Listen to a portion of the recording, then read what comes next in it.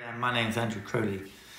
I'm looking forward to becoming your online tutor for the trumpet or, or brass group that you may have. So um, I've got a wealth of experience to offer, having run London Brass and been a member for many, many years.